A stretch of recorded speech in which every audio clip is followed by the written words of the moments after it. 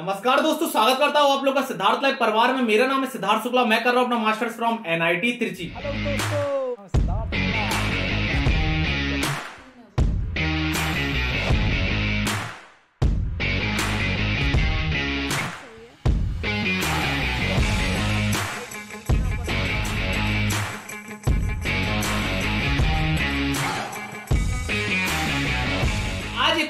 ज़बरदस्त तरीके से हम आपके लिए लेकर आ गए हैं। आज हम बात करने वाले हैं व्हाट इज़ एमटेक प्रोजेक्ट बहुत सारे लोगों को एमटेक करने तो आ गए हैं, पर उन्हें यही नहीं पता कि एमटेक का प्रोजेक्ट क्या होता है, क्या करना होता है इस प्रोजेक्ट में। और उस चीज़ के लिए वो पूरे एक साल तक परेशान रहते हैं। बहुत अच्छी बात है, कुछ सीनियर्स बहुत ज़्यादा हेल्प कर देते हैं, पर कई कॉलेजेस में क्या होता है, उनका सीनियर से इंटरेक्शन नहीं हो पाता है। और उन्हें पता ही नहीं चल पाता है। तो आज मैंने सोचा क्यों ना एक फुल वीडियो इसी के ऊपर लेकर आया जाए। पहले बात करते हैं एमटेक प्रोजेक्ट कब स्टार्ट गाइस आप देख सकते हैं अन अकेडमी लेकर आए हैं all India mock test for GATE 2022 ये होने वाले हैं एवरी संडे जनवरी 2 से लेकर 30 जनवरी तक। तो आप अपनी तैयारी को बूस्ट करिए और ये मॉक टेस्ट दीजिए। और एनरोल करने के लिए लिंक डिस्क्रिप्शन में है। जाइए मेरा कोड यूज़ करिए। 16 जनवरी को सुबह 11 बजे यहाँ पर हो रहा है कॉम्बैट टेस्ट जहाँ पर 60 मिनट में 20 क्वेश्चन आने वाले हैं। पाँच ब्रांचेस के लिए होगा। ये आपकी प्रिपरेशन जज करने में आपकी बहुत ज़्यादा मदद करेगा। ये फ्री ऑफ़ कॉस्ट होने वाला है। इसको भी एनरोल करने की लिंक हमारे डिस्क्रिप्शन में ऑलरेडी गिविंग है। इसके साथ साथ आपको यहाँ बहुत सारे इनाम मिल सकते हैं। स्टूडेंट जिन्होंने ईएससी मेंस को क्लियर किया है और इंटरव्यू देने जा रहे हैं, उनके लिए अन लेकर आए and game interview guidance program यहाँ पर आपके मॉक इंटरव्यूज़ ले जाएँगे और आपको इंडिया की जो बेस्ट जो उन्होंने ऑलरेडी ईएस को क्रैक किया है जैसे मंडल सर प्रवीण कुलकर्णी सर आप लोगों की हेल्प करने वाले पर कुछ न्यू बैचेस भी स्टार्ट हुए हैं 2023 2024 के लिए 19 जनवरी 2022 से। आप ये बैचेस की कंप्लीट लिस्ट यहाँ पर देख सकते हैं। सारी लिंक्स ऑलरेडी डिस्क्रिप्शन में है। मेरे कोड को यूज़ करेंगे। जहाँ जहाँ पेमेंट करना होगा वहाँ दस का डायरेक्टली ऑफ़ मिल जाएगा और बाकी जितने भी मॉक टेस्ट है आपको वहाँ पे फ्री एनरोलमेंट मिल जाएगा मेरे कोड के थ्रू तो जाइए और अपनी प्रिपरेशन को बूस्ट करिए। जब आप एमटेक करते हो और अपना first and second semester complete कर लेते हो। उसके बाद आपके थर्ड सेमेस्टर से आपको एमटेक का प्रोजेक्ट करना होता है। एमटेक प्रोजेक्ट के टाइम पे आपको किसी भी तरीके का एग्ज़ाम किसी भी तरीके का सब्जेक्ट नहीं पढ़ना होता है।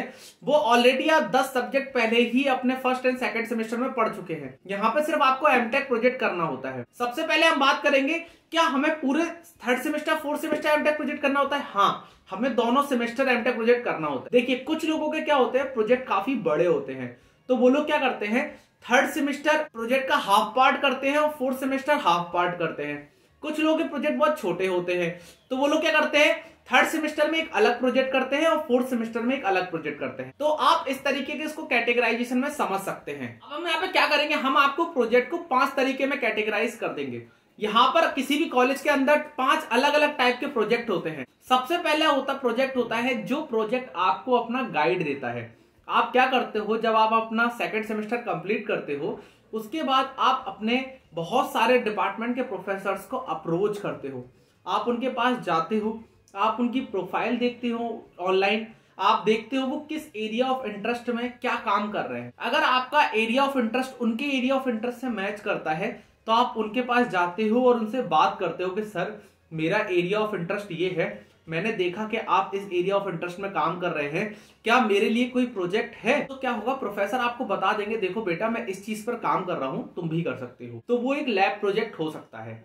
ठीक है? तो मतलब लैब में जाके एक्सपेरिमेंट करना अलग अलग टाइप के एक्सपेरिमेंट परफॉर्म करना, ये हो सकता है। तो आप गए, आपने गाइड के लैब का प्रोजेक्ट लिया और गाइड के अकॉर्डिंग गाइड आपको गाइड करता रहेगा पूरे साल, आप उसके अकॉर्डिंग अपना प्रोजेक्ट कंप्लीट करते रहेंगे। इसे बोलते हैं गाइड के द्वारा दिया हुआ प्रोजेक्ट तो ये हो गया प्रोजेक्ट टाइप वन फिर सेकंड प्रोजेक्ट आता है इंडस्ट्री स्पॉन्सर्ड प्रोजेक्ट आप क्या करते हैं? किसी प्रोफेसर को अप्रोच करते हैं, लेकिन वो प्रोफेसर किसी इंडस्ट्री का प्रोजेक्ट कर रहा होता है। तो वो कहता है, देखो बेटा, मेरे पास लैब प्रोजेक्ट तो अवेलेबल है, पर मेरे पास एक इंडस्ट्री स्पॉन्सर्ड प्रोजेक्ट भी अवेलेबल है। क्या तुम उसे करना चाहोगे? इंडस्ट्री क्या होती है? इंडस्ट्री में एक आरएनडी सेंटर होता है। वहाँ पे वो आर क्या कर रहे होते हैं? किसी प्रोडक्ट को बना रहे होते हैं। तो आपको वो प्रोफेसर की उनको हेल्प रहती है। प्रोफेसर को भी काफ़ी काम रहता है। तो उसके लिए वो एमटेक स्टूडेंट को अपने स्टूडेंट की तरह रखते हैं। ठीक है? तो आप क्या करेंगे? आप प्रोफेसर की मदद करेंगे उस आरएनडी में, उस प्रोडक्ट को बनाने में। तो क्या होगा? इसमें क्या होता है? आपका स्टाइपमेंट फिक्स नहीं होता कि आपको बारह हज़ार चार सौ रुपए ही स्टाइपमेंट मिलेगा। आपका स्टाइपमेंट बढ़ भी सकता है। इंडस्ट्री स्पॉन्सर प्रोजेक्ट में यही होता है कि आपको 12,400 से भी ज़्यादा स्टाइपमेंट मिल सकता है। तो ये एक टाइप का इंडस्ट्री स्पॉन्सर्ड होता है। लेकिन ये बहुत ज़्यादा नहीं होते हैं बहुत ही कम होते हैं बहुत ही लिमिटेड होते हैं। और इसमें आपको अपना पूरा 100 परसेंट देना होता है क्योंकि यहाँ पर गलती बिल्कुल भी बर्दाश्त नहीं की जा सकती है। अगर आपको रिसर्च ओरिएंटेड है तो उनके लिए इंडस्ट्री स्पॉन्सर्ड प्रोजेक्ट बहुत ज़्यादा अच्छे होते हैं। थर्ड प्रोजेक्ट क्या होता है जहाँ पर जो आपका गाइड होता है और आप एक को गाइड ले सकते हैं। को गाइड कैसा हो सकता है? दूसरे डिपार्टमेंट का हो सकता है, किसी इंडस्ट्री का हो सकता है। जैसे कि मेरा एक दोस्त है, उसको एक अलग जो पीएसयू है, उधर से उसे डेटा मिला हुआ है। वो पीएसयू के एक जो हेड मैनेजर है, वो उसके को गाइड की तरह काम कर रहे हैं और जो उसके गाइड है, जो उस प्रोफेसर को उसे अलॉट हुआ है, जिनका वो प्रोजेक्ट कर रहे हैं। तो यहाँ पे क्या कर सकते हैं आप? इंडस्ट्री के डेटा को अपने लैब प्रोजेक्ट के साथ या अपने प्रोजेक्ट के साथ मिक्स करके काम कर सकते हैं।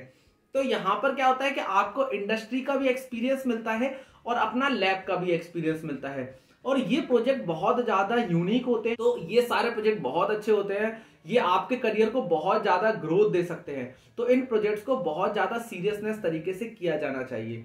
ये थर्ड प्रोजेक्ट का टाइप होता है। फोर्थ प्रोजेक्ट का टाइप क्या होता है? आप क्या करते हैं? अपने प्रोफेसर की हेल्प लेते हैं और जो बड़ी बड़ी ऑर्गेनाइजेशन हैं, जैसे टाटा स्टील हो गया डीएमआरएल हो गया ऑर्डिनेंस फैक्ट्री हो गया सेल हो गया भेल हो गया, आप यहाँ पर डायरेक्टली प्रोजेक्ट करने चले जाते हैं।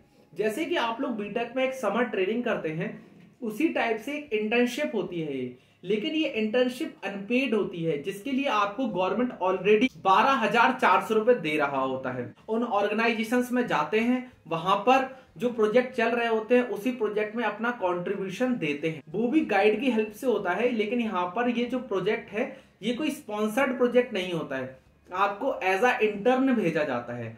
तो आप क्या करते हैं, वहाँ जाते हैं, पूरे छह महीने, एक साल जो भी आपको करना होता है, वहाँ सीखते हैं और उसी से अपना प्रोजेक्ट का जो थीसिस वर्क होता है लास्ट में, वो आप सबमिशन करते हैं। ये हो गया फोर टाइप का प्रोजेक्ट जो आप कैंपस के बाहर रह के करते हैं। फिफ्थ टाइप का प्रोजेक्ट आता है इंटर्नशिप्स इंटर्नशिप्स क्या होती हैं कि बहुत सारी सर्किटल ब्रांच की इंटर्नशिप थर्ड सेमेस्टर में ही लग जाती है, जिनकी इंटर्नशिप पूरे एक साल की होती है। बहुत सारे बच्चों की इंटर्नशिप होती है फोर्थ सेमेस्टर में स्टार्ट तो वो बच्चे क्या करते हैं? देखो, दोनों के लिए बता देता हूँ। आपकी जो इंटर्नशिप है, जैसे कि आपका प्लेसमेंट हो गया है, या आपको पीपीओ मिला है तो आपको क्या होता है? इंटर्नशिप ऑफ़र होती है। तो आप वो जो इंटर्नशिप होती है, वो कहीं ना कहीं आपके डिपार्टमेंट से रिलेट करना चाहिए। तभी आपको जनरली डिपार्टमेंट से आपको अलाउ किया जाता है, वरना वो आपको इंटर्नशिप के लिए अलाउ नहीं करेंगे। तो मोस्टली ऐसा ही होता है कि जब इंटर्नशिप ऑफ़र होती है तो आपके डिपार्टमेंट से रिलेटेड कंपनी में ही ऑफ़र होती है। आप क्या करते हैं? आप उस कंपनी के लिए पर्टिकुलरली काम करना चालू कर देते हैं। और वहाँ पर जो प्रोजेक्ट आप करते हैं, उसके आप थीसिस को कॉलेज में सबमिशन करते हैं। तो अगर आप थर्ड सेमेस्टर में चले जाते हैं तो आपको एक साल कॉलेज में कोई भी प्रोजेक्ट नहीं करना होता है। आपको कंपनी का ही प्रोजेक्ट करना होता है। पर बहुत सारे बच्चों को क्या होता है फोर्थ सेमेस्टर से इंटर्नशिप मिलती है।